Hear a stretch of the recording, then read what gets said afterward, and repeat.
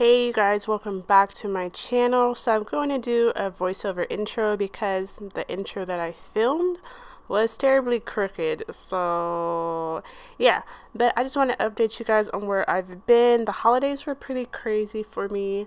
Um, so now that it's kind of slowed down a bit I'm just kind of filling orders that come in and working on new products and just doing things for my shop that really need to be done like little things here and there. Um, I'm really excited to be releasing some new Bath and Body products. So I will be working on that. But in this vlog, I kind of wanted to show you um, an order that I'm filling for a store client. She has a floral shop and she was interested in putting my candles in her shop. So I am going to get that order filled as well as uh, like make a display. She wanted a display and I was really intimidate intimidated about that because I've never done that before for a shop owner. So um, she ended up really liking it. It's just like a bar cart um, display. And when I was filming this video, I had actually had issues getting the bar cart that I needed and I ended up having to buy it twice because the first one took like eight days to get to me and um, as I was filming it, I still had no bar cart after I purchased it two times, once from Hayneedle and once from Amazon. Uh, so yeah, but I also am going to show you how I created like a nice chalkboard display for her. But yeah, this uh, studio vlog is just going to have a whole bunch of things that I've been working on this week. So let's get into it. So I hope you can see. I'm going to start with my newest candle here. This is my Queen of Hearts candle. I got a couple of orders for these and um, the florist specifically wanted something Valentine's Day to kick off her um, grand opening. So yeah, so I made some of those. I kind of flopped and I wish I would have ordered more fragrance oil. Um, because once everything's said and done, I think I'll have like one of these left. So, should have ordered more fragrance oil. I'm going to cut everything else. I had one order for this popcorn candle. Um, yeah, it just smells like popcorn and you can see the embeds on top are little popcorn. So, yep. And all of these white candles that you see are not the same fragrance. Um, these, my container candles are all white and before I used to dye them but I figured I'm going to do them all white because since these candles are so labor intensive um, I feel like it balances out with doing just a white container candle so I don't have to worry about colors and all of that. So this is Garden Mint, Apple Harvest. I believe this is Blood Orange. Um, this one is Caramel Popcorn, Lavender, and Peppermint Eucalyptus, which is going to, all of the white candles are going to the floral shop. So now everything is um, prepped and I can start filling orders.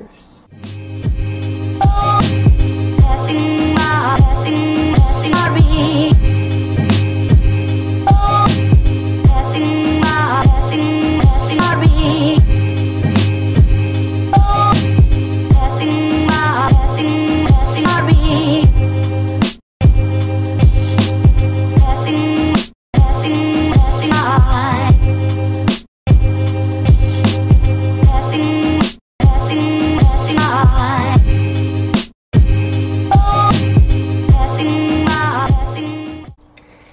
guys, look what came. As I was cutting stickers for my candles, the bar cart showed up. I'm so relieved. So now I actually have a bar cart to put together. Maybe um, I'll have time to show you that. We'll see how that goes.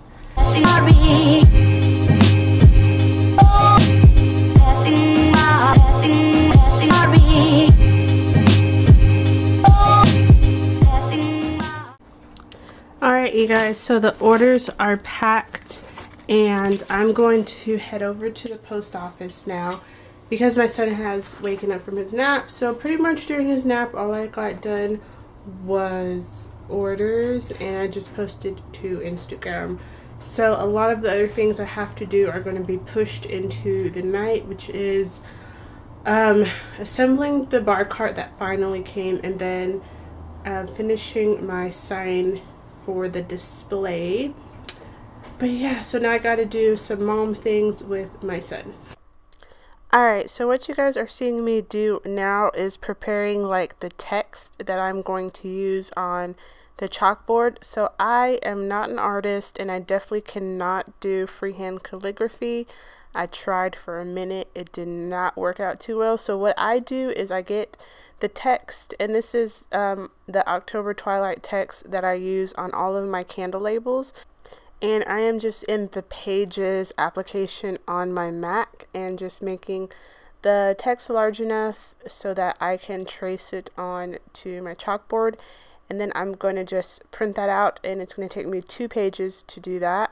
So once I print it out, this is how that is going to look and I'll just kind of overlap um, the text so that it fits together, if you know what I mean. And then I'm going to cut it out and tape it together so it is um, easier to work with on the chalkboard. Now that I have got it cut out um, I'm going to just show you the tape. I just used packaging tape to um, tape it together and I did not tape over the actual text because that's going to mess up your tracing. So now I'm just going to position it how I like it and I will show you what I do next. So to weigh it down I just got some little things from the pantry um, just so I can weigh that down. And once I've got my positioning, I'm going to take a piece of chalk, any kind of um, sidewalk chalk, whatever chalk you have lying around, and I'm going to um, turn the chalk on its side and then just rub it on the back of the paper.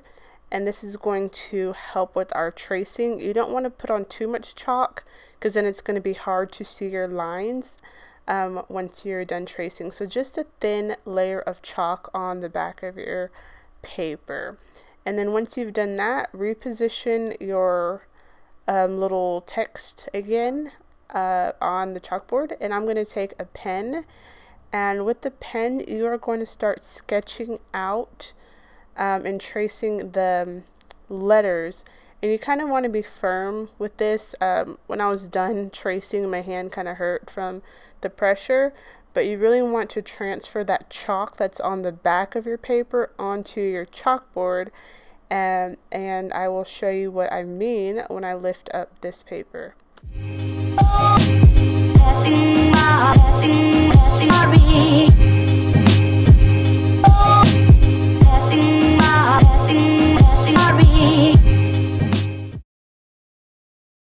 Alright, so when you lift up the paper, you should see an outline of the text. So that's what I mean when you don't want to lay on too much chalk.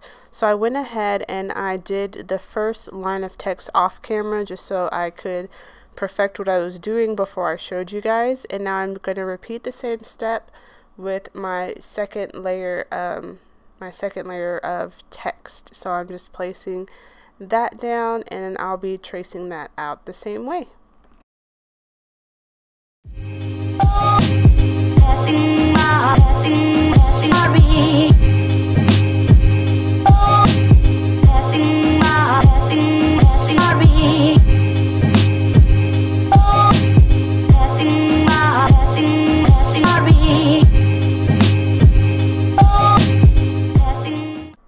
Okay, so when you lift up your paper, this is how it's going to look. It's going to look like a mess, seriously. But once your eyes kind of catch the outline, it gets easier um, as you go to kind of see. But you definitely cannot see what I'm doing um, in the video. You can't see the tracing or anything but I will kind of show you how I fill everything in and my advice is to get a finer tip chalk marker. I kind of got a thick marker without looking or paying attention. It would be much easier to do this with a finer marker. Um, and definitely do a chalk marker. Don't do it with just regular chalk because then it won't look as professional.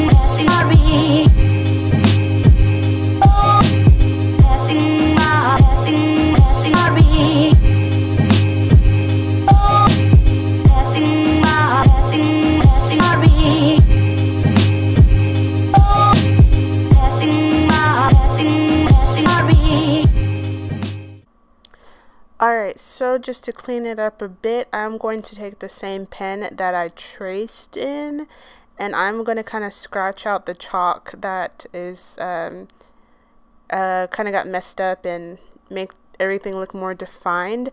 I would suggest not using water, like I try to use water and a q-tip, but that just kind of smeared things around.